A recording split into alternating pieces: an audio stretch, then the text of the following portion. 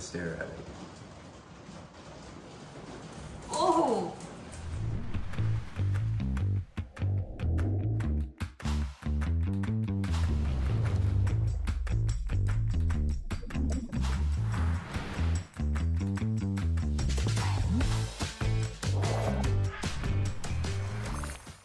Hey guys, welcome back to the channel. Uh, today we're going to be feeding some of our snakes and showing you the new reptile building that we have. It's the new temporary reptile building. What we have here, this is a 12 by 24 foot shed. Uh, we redid the floors, so we got some nice floors on here. When well, we got, they're a little dirty right now since we're Well, having a tornado in yeah. store. But It's yeah, it's filthy right now. But yeah, so um, the whole thing's a mess. But yeah, so we actually uh, redid the floors, painted the walls, painted the ceiling, uh, put insulation behind that actually. So these are all done up with plywood. We got quarter inch plywood and then insulation and then paint. Uh, we do have some extra wood in here just randomly taking up the entire middle of the floor right now. It's not the best, but um, we don't have anywhere else to put it.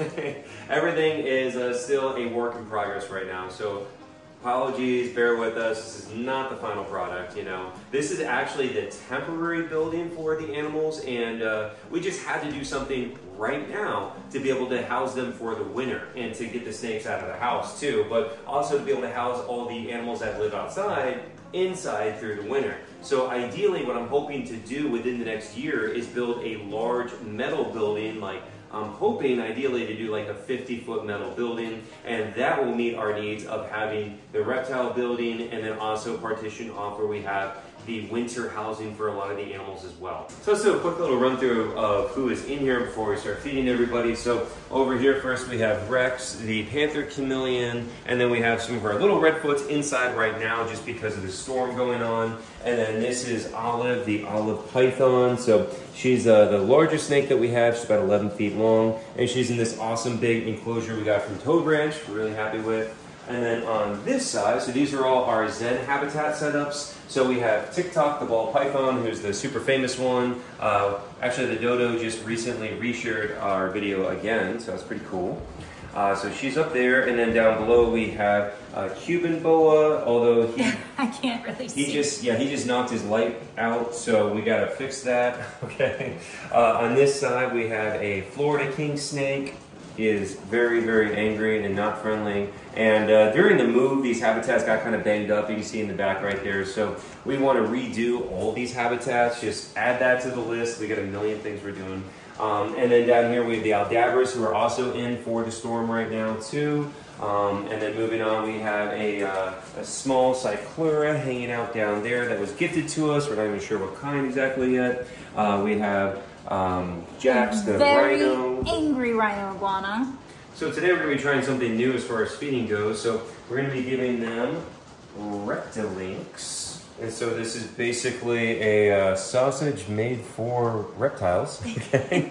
and no, really, it, I mean, it is a sausage. It's got the uh, the casing uh, outside to hold it all together, and inside is ground up uh, rabbit and quail and various uh, other things. They make them for different stuff too. So this one is uh, for reptiles, but they do grind up also vegetables, depending what you're feeding it to.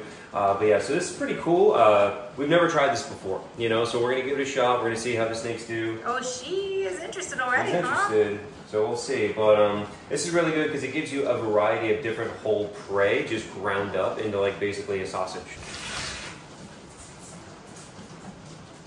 Alright. Nope. Oh, Oh, she grabbed it. There you go. I feel like this is a really good option too for people that don't like rats. I, I know a lot of people that are like, I love snakes, but I just, I could never feed a rat or a mouse. This is perfect. It's not highly processed. We are so uh, careful about what we feed our animals. So uh, this is a really, really good option and she really likes it. So she's got it halfway down already. So looks like she uh, she approves. Okay. Now um, she's probably the coolest snake that we have, in my opinion. I mean, she's the longest snake, but also just uh, it's a species you don't often see are olive pythons. And uh, she's a rescue. We actually got her. I got her all the way back in I think it was 2014. Um, from a rescue that was actually shutting down, and she had already lived there. So I've had her for a very long time.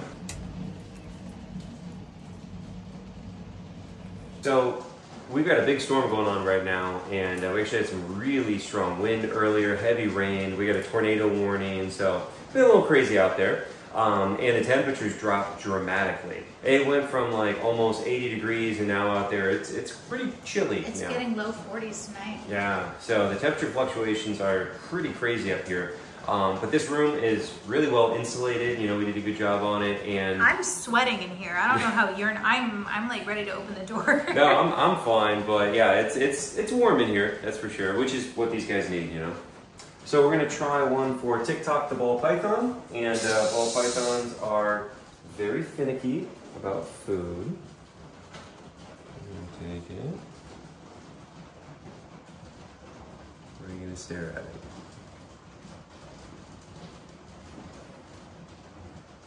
So they are notoriously finicky, and uh, Reptilinks literally says uh, money back guarantee except for ball pythons. Because they're so finicky. That's how they are. Um, so we tried piercing the casing a little bit, and we'll see if that makes any difference. Uh, let's see if her face is. I think she's looking on this side. Well, I'm down to leave it and just see what happens. Okay. So we're gonna leave that one there for her and see if she picks it up in a minute. And we're gonna try this one for the Cuban boa. I'm interested.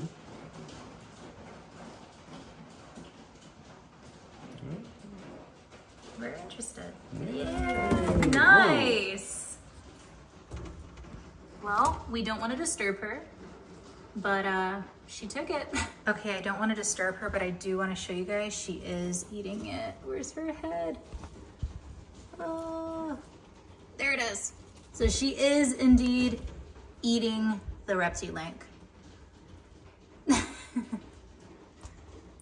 So the Cuban just finished one. Let's see if uh, take another. One.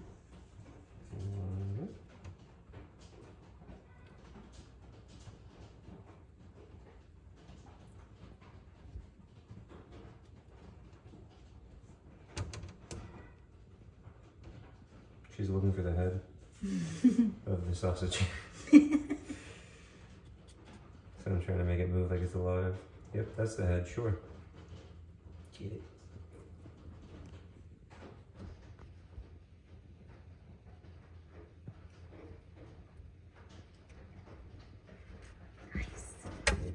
There you Looking for the head of the sausage. That's what she was doing.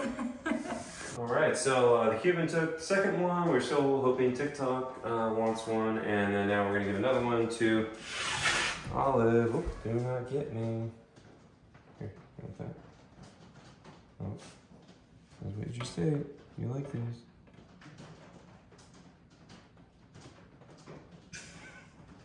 Vicious predator.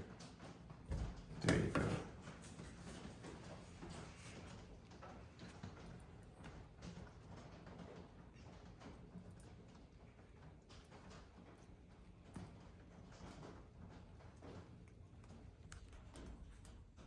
She's kind of hiding behind the plant, but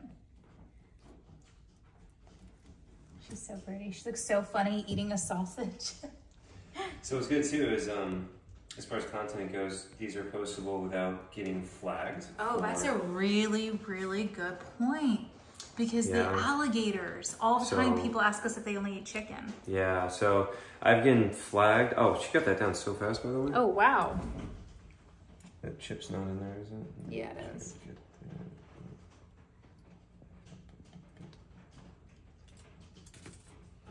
Nice. So Wow, yeah, I've been fast. flagged. Uh, God, I don't know how many times for like graphic content and things like that when you're feeding whole rats, you know, which is normal and that's what they eat. But apparently in social media, la la land, that's graphic content, and uh, it's just so weird. I mean, trust me, I can go on an entire rant about how this doesn't make any sense, but that will not get flagged. Is my point. Okay. That's a great point. All right, so I just gave her a third one. She's 11 feet, and that's one of the smaller ones. She really likes them.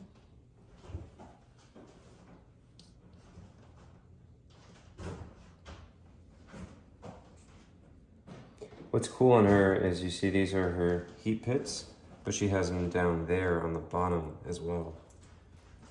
So when I first got Olive, uh, she was really, really overweight. I mean, they had the best of intentions. You know, they took too good of care of her. And uh, so she was really overweight. And you can actually still see she's got these uh, rings on her. Those are like, how would you even describe that? Like fat rings?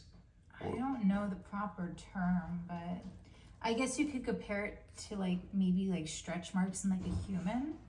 So yeah, she had a lot of that. And uh, so the first like year I had her, I barely fed her at all, which people are like, what? That's horrible. That's how you get them overweight in the first place and they end up with heart issues is people try to feed reptiles like they think that they're feeding a mammal, a human. They anthropomorphize, they put their feelings into the animal and they're like, well, I eat every day, so they need to eat every day. It's like, no, no. She only needs to eat once a week, once every other week or something along those lines, depending on how much you feed her and what it is. And the rats, just giving her rats, I mean, that is uh, very fatty. And so that's why these reptilinks are also really good. They're more lean with uh, rabbit and quail and things like that. So I think it's a pretty good alternative and a good mix up in the diet as well. I really like these. Uh, you know, we always feed rats and it's gross, you know, and you know, we always have to, well, we have frozen rats and we thaw them out and then they're just dripping everywhere. And I can't tell you how many times I've had a snake like grab the rat and the tail just flings rat water at me. You know, it's just super gross. So taking these things out, it's a lot more nice, compact, and neat, you know. Uh, so seems pretty good. Now the snakes are finicky though. I mean, that's snakes though. If you don't know a lot about snakes, it's very interesting and really makes you wonder how these things ever survive in the wild. Uh, so some snakes are strictly olfactory. When what I mean by that is they're completely based on the sense of smell as to what is determined as prey or not. So like uh, with cobras, with king cobras, you know, I've worked with those a lot, and sometimes king cobras only eat other snakes. So sometimes what we'll do is take a rat, because rats are more easily available in captivity than snakes. Now you should always try to feed them snakes when you can. That's what their diet is supposed to be. But anyways, we're not getting those ethics. The point is, I know people who have taken a rat and they rub it on another snake, even like your other pet snake, rub it on there, and then present it to the cobra, and then boom, they immediately nail it because it smells like another snake. Does not matter what it looks like whatsoever, just what it smells like. And so with these guys, you know, TikTok right there, I don't know. Uh, she is one that has been more um, interested in the thermal presence of her prey. So uh, what I'll often do is take food and put it underneath the heat lamp and get it nice and hot. So even if it looks right, it smells right. If it doesn't have the right thermal uh, presence for her, she's not interested in it, you know? So different snakes do different stuff. And then also, we're in winter right now too. So uh, some of the snakes don't eat at all through the entire winter, even when it's kept warm in here. So you never know. Snakes I wonder if one would be opposed to eating because it couldn't find the head. Like we watched the Cuban boa for a while yeah. looking for like a head, not understanding. It's definitely a learning curve. This is something totally different. I think something like a monitor would probably take this like really easily. Yeah. And we are going to try this with our armadillo, with the coatis. The coatis are gonna love these. Look at TikTok. yeah. So. For those that say that uh, ball pythons don't climb and they are perfectly happy in like a little tiny box, there you go. She does climb. Snakes are just weird, you know. Um, I know cases where people have kept certain snakes in captivity and offer them rats and rats and rats and they will not eat them until they starve to death and die. And then someone's like, Have you tried a lizard? And then they literally put a lizard in there, immediately eats, or even rub a lizard on the rat, immediately eats, you know? So they're very finicky, very strange, and I, it really makes you wonder sometimes, like, how do you ever survive in the wild. And then you have things like cottonmouths that are eating like roadkill. the frog that you watched it scrape like that yeah. disgusting frog off the side of the road. Yeah, so it, it really varies by different species and you know what they like, what their preferences are, what they'll eat, what they won't eat. It gets very strange for sure. So hopefully you guys enjoyed today's video and also just for transparency purposes, Reptilinks did uh, send us these and they did offer us an affiliate link. So if you want to buy some, you can use our link. And if you do, it'll give us a kickback that goes to the rescue fund. So if you want to do that, that's awesome. It helps our rescue. And uh, this is our first time trying these products. We always do try them and see whether or not we genuinely like them or not. And we do. They seem pretty awesome. Uh, the snakes seem to like them, and we're going to be excited to see how the coatis like them as well. All right, well, thanks for watching, guys. Leave a comment, let us know what you think, and as always, like, share, subscribe, all that fun stuff, and we'll see y'all next time.